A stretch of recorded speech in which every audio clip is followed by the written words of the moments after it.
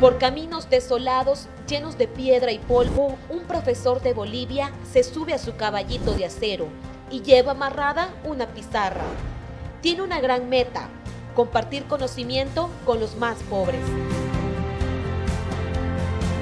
A causa de la pandemia, los pequeños están en cuarentena y no cuentan con las herramientas para tener clases virtuales. Entonces de esa manera, como ya tengo, he agarrado mi, mi y me he lanzado hacia sus casas de mis estudiantes. El compromiso con la docencia es tan grande que Wilfredo Negrete deja por un momento a sus hijos para llevar estudio a otros más necesitados. Sin duda es un padre y maestro ejemplar. El profe va casa por casa enseñándoles algunos temas y con paciencia les explica.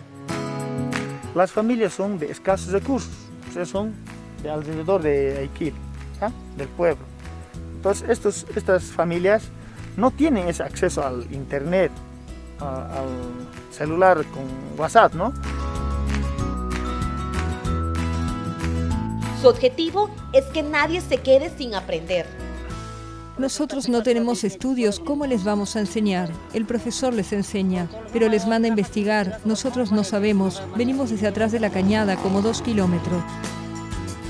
Gracias al buen corazón de este hombre, los niños se convierten en esponjitas absorbiendo los conocimientos y valores de este gran maestro de oro.